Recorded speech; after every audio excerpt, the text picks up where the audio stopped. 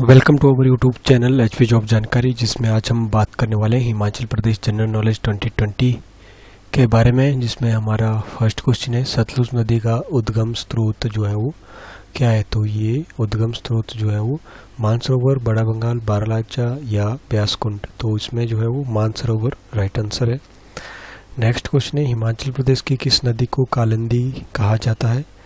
Option है सतलुज, यमुना, चेनाब और रावी। तो इसका सही उत्तर है यमुना। नेक्स्ट क्वेश्चन है, खजियार झील किस ज़िले में आती है? तो ये चंबा ज़िले में आती है। इसका right answer Chamba. Next question है, नाको झील किस ज़िले में आती है? किन्नौर, लाहौल स्पीति, कुल्लू या फिर कांगड़ा में? तो इसका राइट आंसर है, किन्नौर में जो है वो नाको झील आती है। नेक्स्ट क्वेश्चन है, गर्म पानी का कुंड मणिकरण जो है वो किस ज़िले में है? चंबा में, शिमला में, किन्नौर में या फिर कुल्लू में? तो गर्म पानी का कुंड मणिकरण जो है वो कुल्लू ज़िले में है। नेक्स्ट क्वेश्चन है, चंबा रियासत की स्थापना किस वर्ष हुई? 550 ईस्वी में 500 ईस्वी में 600 ईस्वी में या 650 ईस्वी में? तो इसका राइट आंसर है 550 ईस्वी में ये मारूवर्मन ने चंबा रियासत की स्थापना की थी। नेक्स्ट क्वेश्चन है, मोहम्मद गजनबी ने कांगड़ा किले में कब लूटपाट की थी? तो 1009 ईस्वी में जो है वो मोहम्मद गजनबी ने कांगड़ा किले पर लूटपाट की थी और यह सतारा आक्रमण जो मोहम्मद गजनबी ने की थी किए थे, उनमें से ये जब चौथा आक्रमण भारत पर कर रहा था, उस समय जो है मोहम्मद गजनबी ने कांगड़ा किले में लूटपाट की थी। नेक्स्ट क्वेश्चन है, मोहम्मद बिन तुगलक ने कब कांगड़ा किले पर कब्जा किया था? उन्नीस सौ तेरह सौ पैंसठ ईस्वी में, ग्यारह सौ चुरंजा ईस्वी में, तेरह सौ सैंतीस ईस्वी में, या फिर चौदह सौ अठाईस ईस्वी में। तो इसका राइट आंसर है तेरह सौ सैंतीस ईस्वी में। नेक्स्ट क्वेश्चन है, सतारह सौ ईस्वी में हमीरपुर शहर की स्थापना किसने की? तो ये हमीर चंद ने जो है वो हमीरपुर शहर की स्थापना की थी सतारह सौ ईस्वी में।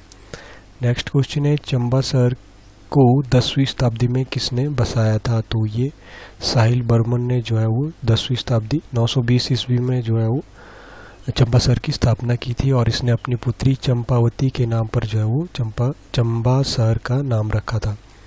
नेक्स्ट क्वेश्चन है, दुनिया का सर्वाधिक ऊंचाई पर स्थित क्रिकेट मैदान कहाँ है? तो ये हमारे चायल में है।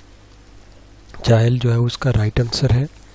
नेक्स्ट है, आठवीं शताब्दी में बने नैना देवी मंदिर का संस्थापक जो है वो कौन है? तो इसका राइट आंसर है वीरचंद। वीरचंद जो है वो नैना देवी मंदिर का संस्थापक है। नेक्स्ट क्वेश्चन है, कांडाघाट रियासत को मुगल साम्राज्य में कब मिलाया गया? तो ये 1620 ईस्वी में जो है वो कांडाघाट रियासत को मुगल साम्राज्य ने, में मिलाया गया। नेक्स्ट क्वेश्चन है, राज्य का पहला टेक्सटाइल पार्क जो है किस ज़िले में है? तो ये हमारा ऊना ज़िले में है। राइट आंसर टेक्सटाइल पार्क जो है वो ऊना ज़िले में है। कहानीकार चंद्रधर शर्मा गुलेरी का संबंध किस ज़िले से है? तो ये जो है वो कांगड़ा ज़िले से है और इनकी लिखी गई बुक्स जो है वो उसने कहा ये काफ़ी बार पूछा गया क्वेश्चन है। कांगड़ा से संबंधित है, चंद्रधर शर्मा गुलेरी। नेक्स्ट क्वेश्चन है हिमाचल में किस ज़िले में जो जनसंख्या घनत्व सबसे कम है? तो ये लाहौल स्पीति में जनसंख्या घनत्व जो है सबसे कम है। नेक्स्ट क्वेश्चन है, हिमाचल प्रदेश की सबसे लंबी नदी कौन सी है? तो ये सतलुज है, जो 320 किलोमीटर की दूरी जो है वो तय करती है हिमाचल प्रदेश में। नेक्स्ट क्वेश्चन है, अदरक उत्पादन कौन अदरक उत्पादन में कौन सा जिला जो है वो शीर्ष में है? तो सिरमौर जो है वो अदरक उत्पादन में हिमाचल प्रदेश का शीर्ष जिला है। नेक्स्ट क्वेश्चन है, एशिया का सबसे बड़ा मत्स्य उत्पादन केंद्र देओली किस ज़िले में है? तो यह बिलासपुर ज़िले में है। जो है वो मत्स्य उत्पादन केंद्र देओली जो है वो बिलासपुर ज़िले में है। नेक्स्ट क्वेश्चन है, हिमाचल प्रदेश का सबसे कम साक्षर जिला कौन सा है? तो ये आपका चंबा जिला जो है वो सबसे कम साक्षर जिला है। नेक्स्ट है, शिमला में पहली बार रेलगाड़ी कब पहुँची? तो ये आपकी 1906 में।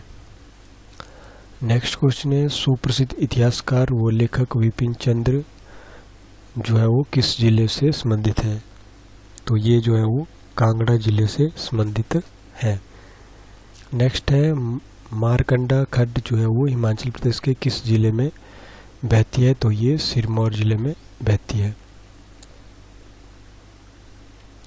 नेक्स्ट है, कमरुनाग झील जो है मंडी ज़िले की कौन सी तहसील में स्थित है? तो यह चच्चोट में है।